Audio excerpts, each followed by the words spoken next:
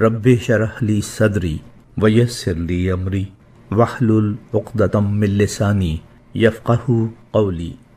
परवरदिगार, मेरा सीना खोल दे और मेरे काम को मेरे लिए आसान फरमा दे और मेरी ज़बान की गिरह सुलझा दे ताकि लोग मेरी बात समझ सकें।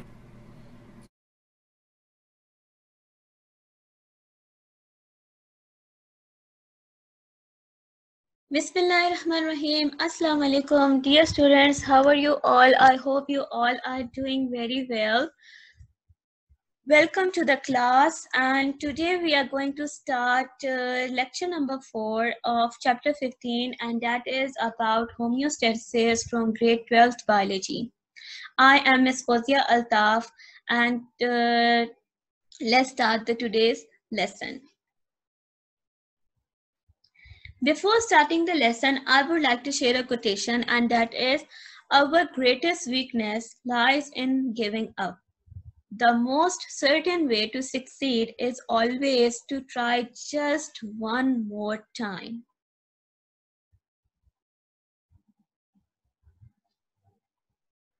Starting the topic uh, from a definition that is uh, urology. Urology is basically it is a branch of medicine which deals with the diseases that are associated with the urinary tract and the abnormalities of urinary tract along with their treatment. All of these things are studied in urology and the person that deals uh, with uh, uh, renal functionalities and their treatments is known as urologist.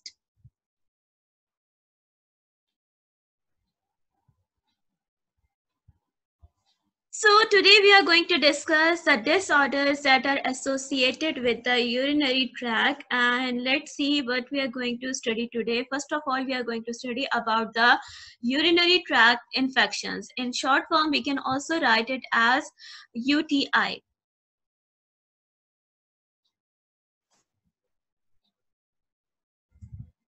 So basically, uh, in case of males, uh, although males can also get the urinary, uh, tract infections, but the condition is 50 times more in case of females. And uh, in case of females, the main uh, reason or high risk is due to the shortness of the female urethra. Urethra is, uh, in case of female, is only 1.5 inches as compared to the males that have 8 inches urethra. So because of the length, uh, the females are more uh, uh, towards uh, uh, they have high risk of uh, getting UTIs that is urinary tract infections as compared to males.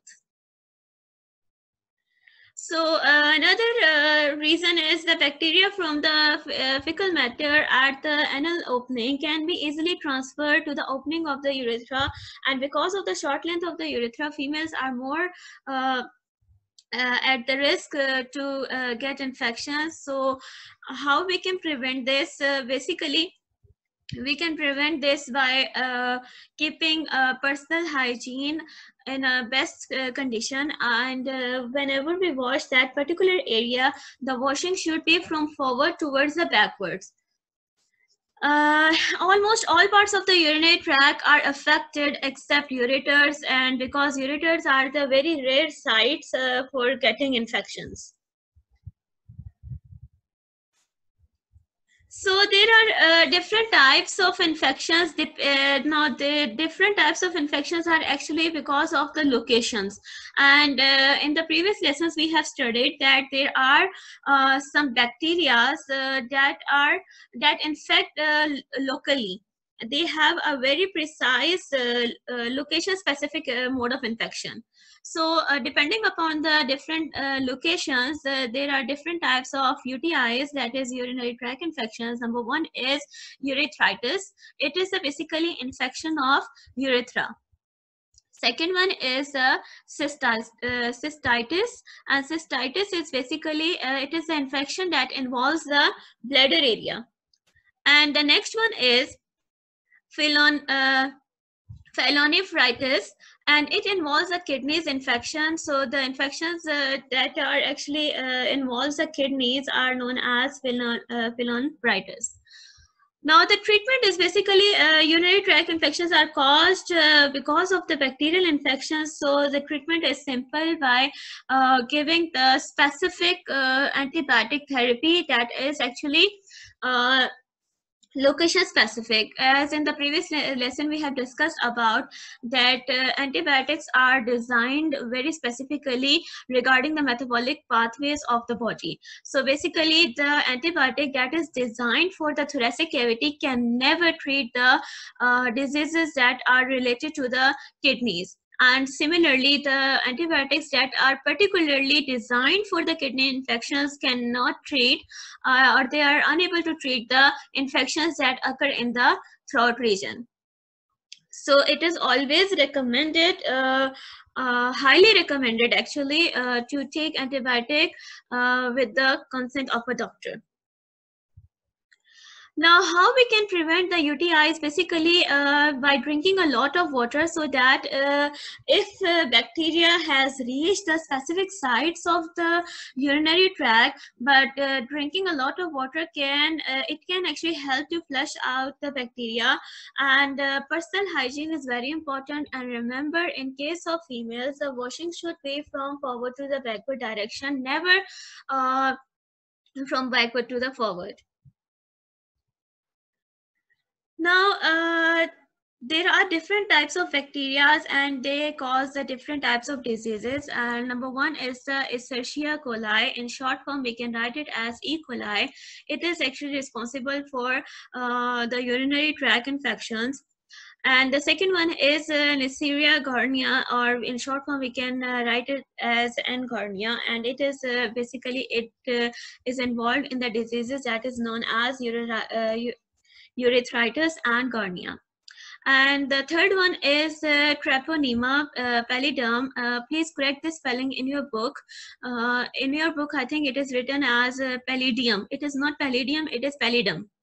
And in short form, we can write it at T pallidum.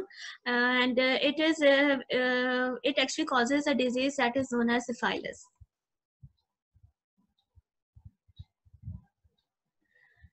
So now we are going to discuss about the major issues that are faced very commonly among the population and that is the uh, kidney stones. And uh, kidney stones are actually uh, very painful uh, conditions. So kidney stones are also known as uh, urinary stones and uh, basically the kidney stones are hard crystalline mineral material that are stick together to form small pebbles. What are pebbles? Pebbles are uh, smooth rounded rocks. And uh, within kidney or a urinary tract. So location is actually uh, it can be within a kidney or a urinary tract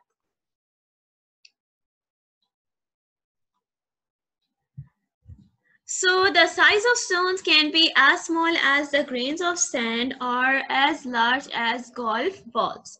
So basically uh, there is a variation in the sizes of the stones and uh, uh, it, it, can be as large as the golf balls and these are actually the this size uh, that is a, a, very large size is actually it involves the uh, treatment that is an open surgery. Otherwise uh, we are going to see nowadays uh, open surgery is not recommended. And uh, by using the lithotripsy procedures the techniques we can actually remove the stones easily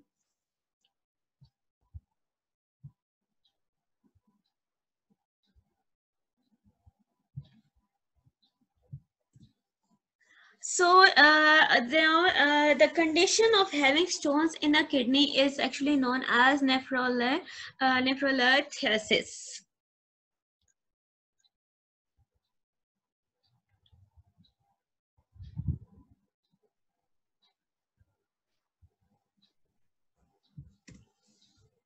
So here we are having a science statement and they uh, actually say there are five major types of urinary stones. Number one is the calcium oxalate. Second one is calcium phosphate. Uh, number three is the magnesium ammonium phosphate. Uh, number four is the uric acid. Number five is the cysteine. Cysteine is basically an amino acid, and accumulation of this amino acid actually causes the formation of a stone. Now, uric stones are composed of a combination of uric acid along with the uh, calcium oxalate.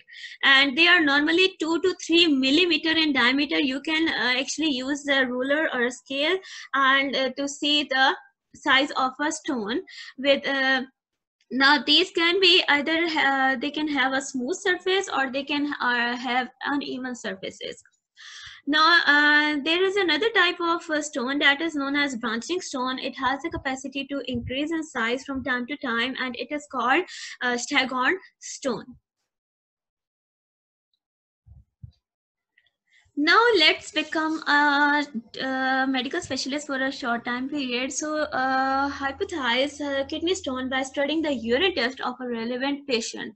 How we can actually predict or hypo, uh, uh, hypothesize uh, about the kidney stones uh, a particular patient about a particular patient? So first of all a doctor will recommend to have a, a urine test. And in a urine test uh, the ph will be detected. And uh, depending upon that uh, reading uh, doctor is going to predict regarding the uh, stone. Now if the urine is acidic that is the ph uh, reading is low. It is uh, it indicates stone formation that is chemically calcium oxalate and if it is alkaline that is it has high ph the uh, ph of urine is high then it is uh, it uh, uh have a stone that is calcium phosphate. And if uh, urine is uh, pres presently continuously acidic and this is actually indicating the formation of uric acid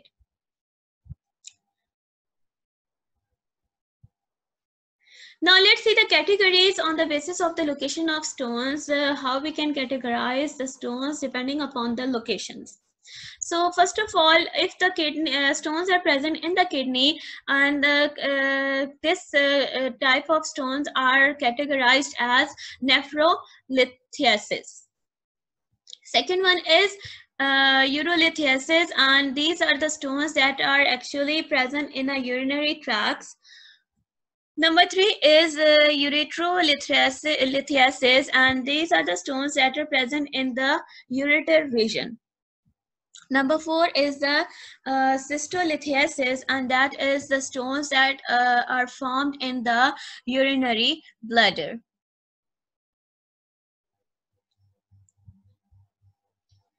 Now here you can see that how uh, uh, stone formation is uh, actually done. Actually, uh, the crystalline, basically the crystals are precipitated from the uh, secretions and these uh, precipitate to form a crystalline substances and these crystals are have the capacity to join together to make a huge mass and it can be smooth uh, it can have a smooth surface or uh, some of the stones have a uneven surface or we can say a rough surface. Now you can see uh, different sizes uh, of the stones and uh, most of the time stones are formed and but they are naturally removed uh, with the help of uh, the excretory system uh, urine while excreting urine uh, the stones are removed naturally. But sometimes if uh, the size of the stone gets uh, big enough and it might uh, block the uh, uh, ducts, the urinary ducts and it might bl block the excretory process also as you can see this stone is actually in the region of uh, calyceal uh, region uh, that is major calyces and this is known as calyceal, calyceal, stone. And when it reaches the renal pelvic region and here it is actually increased in size and it is it is known as renal pelvic stone. And if it reaches the urethral uh, ducts and this will known as the upper urethral stone because it is located at the very upper region of the urethra. Now let's see what are the causes of kidney stones and what are the different metabolic stages of the formation of kidney stones. So basically, hypercalciuria uh, uh, is a condition uh, that is uh, actually it is formed because of hypercalcemia. Hypercalcemia is the high uh, calcium level in blood because of uh, some other diseases like osteoporosis is uh, can be a cause uh, and uh, because of some hormonal uh, imbalances that actually uh, causes more uh, calcium content in the blood as compared to the bone. So these kind of diseases actually they cause hypercalcemia and hypercalcemia may lead towards a stone formation and that metabolic stage is known as hypercalciuria.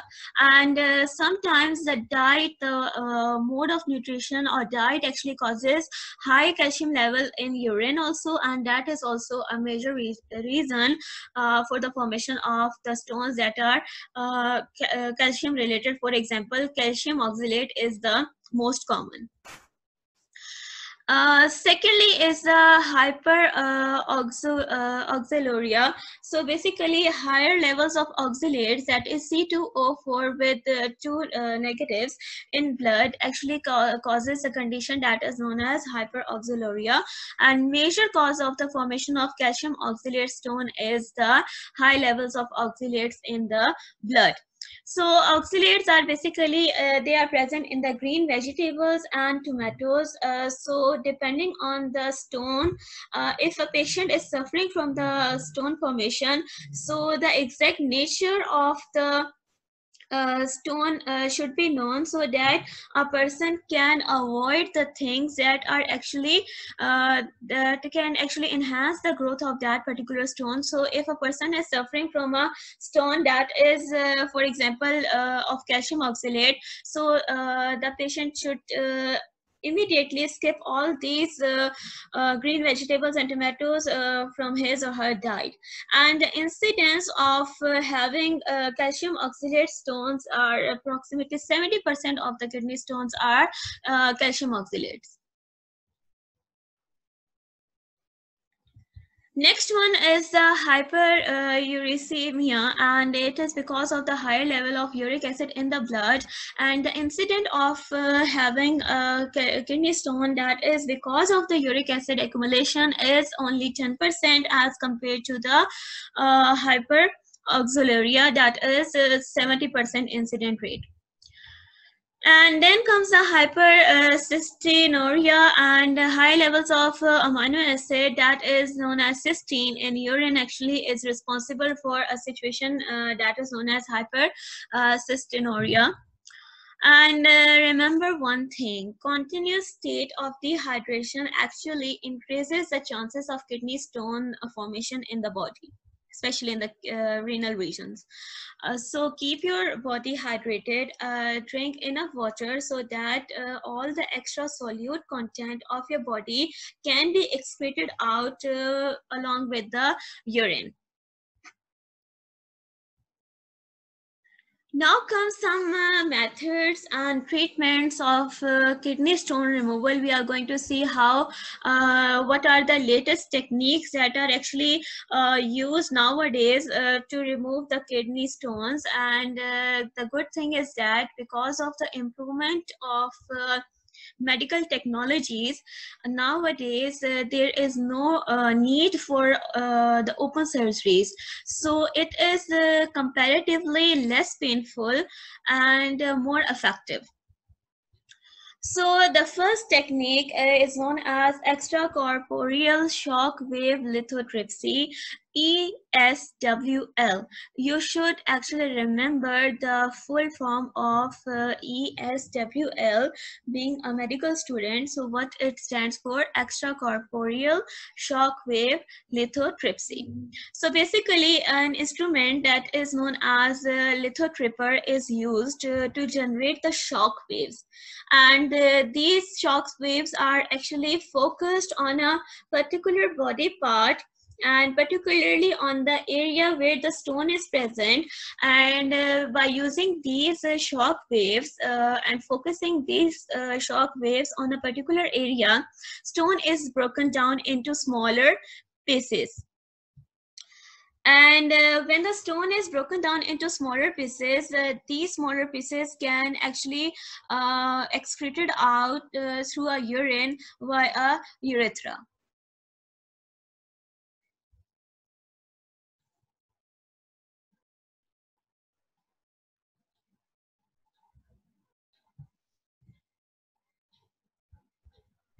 So this is uh, actually setup of uh, the lithotripsy technique uh, in uh, any hospital and it is actually uh, done in a very hygienic conditions. And let's see what kind of uh, apparatuses are used. So basically uh, first of all a generator is in, uh, required that is actually responsible for uh, creating the shock waves and they are focused on a particular area of the kidney. And remember one thing uh, anatomic uh, uh, the anatomical actually location of kidney is the back side of the body. So whenever the pain is uh, actually observed in the kidney, uh, a person will feel a pain at the back side of the body, not in the abdominal region. And uh, the shock waves are actually focused on a kidney if the stone is actually uh, residing inside the kidney and there is a X-ray receiver. And uh, because of these shock waves, uh, there is actually a cushion that is water or gel filled and there is a control unit so that the exact amount that is needed is uh, supplied and uh, x-rays are actually used to locate the kidney stone. So uh, after locating the kidney stones the shock waves are bombarded on a that specific region only. So in this way uh, the stone is broken down into a very small uh, granules like sand and that uh, granules are later on excreted by the help of excretory system through mm-hmm. urine so uh, the body gets uh, gets rid of a particular stone.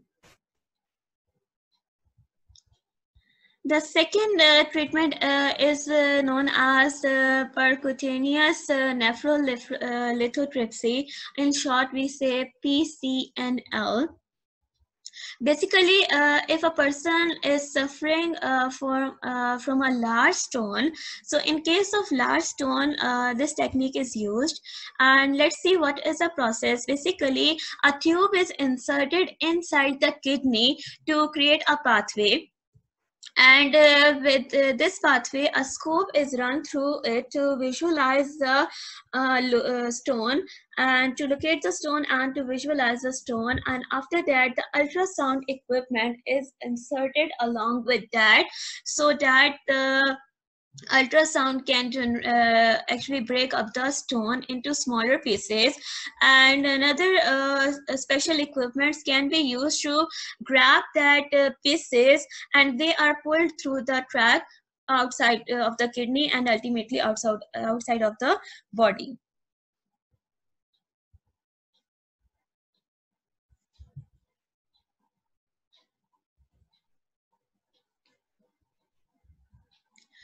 So uh, other methods that include the uh, methods or treatments of uh, kidney stone removal includes the medicine immediate uh, that uh, immediate uh, treatment for the st stone removal treatment is the pain relievers. So first of all as i have discussed earlier that these uh, re, uh, renal stones are very very painful.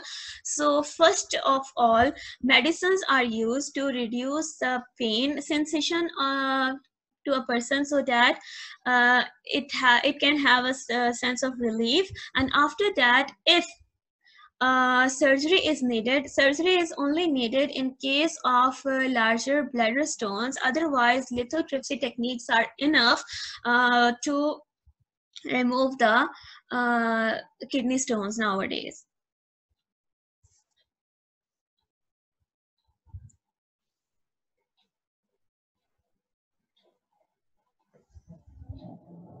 So here comes another uh, topic and that is related to the kidney failure.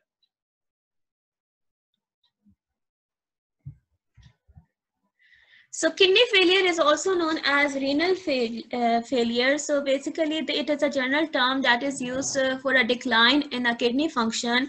And uh, what is a decline in a kidney function? Basically, whenever we say there is a decline in a kidney function, we are referring uh, towards the efficiency of the filtering process. The filtration process of a uh, kidney is actually uh, leads towards a renal failure. Now, basically, there are two main types of kidney failure. Uh, number one is known as chronic uh, renal failure, and number two is acute renal failure. First of all, we are going to see what is uh, chronic uh, renal failure. Basically, chronic renal, uh, renal failure is uh, an irreversible destruction in the renal function and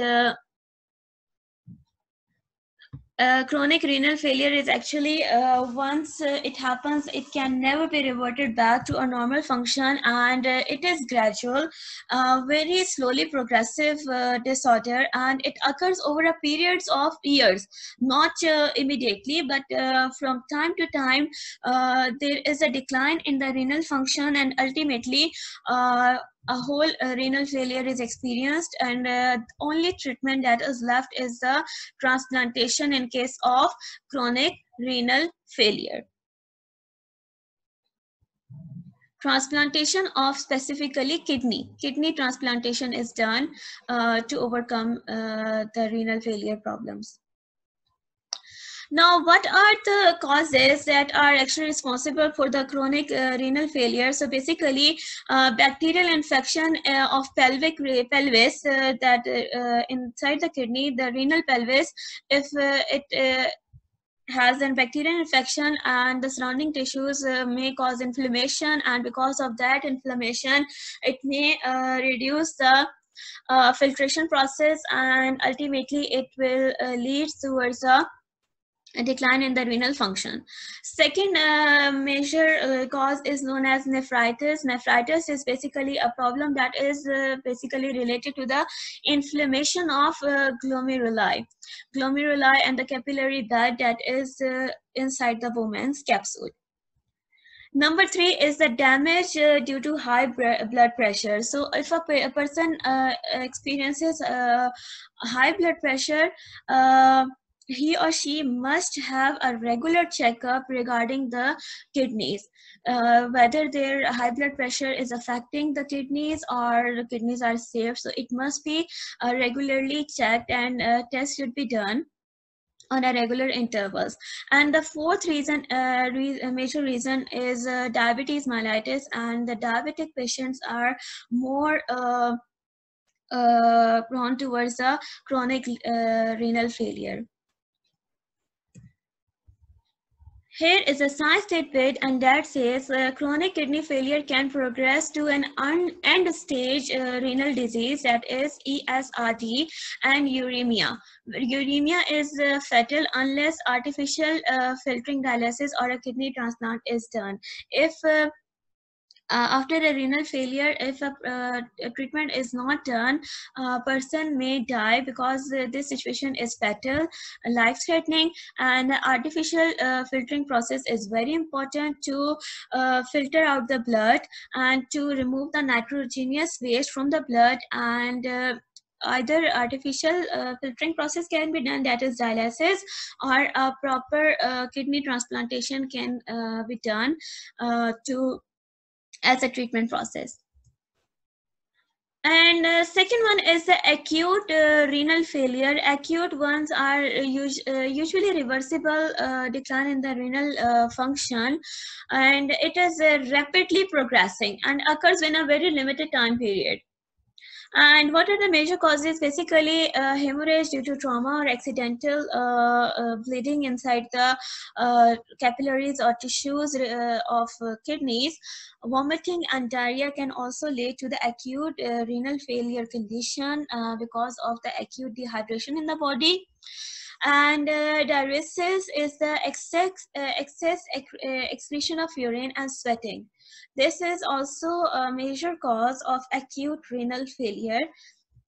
And uh, obstruction of ureters, bladder or urethra because of the kidney stones can also be a reason of acute renal failure.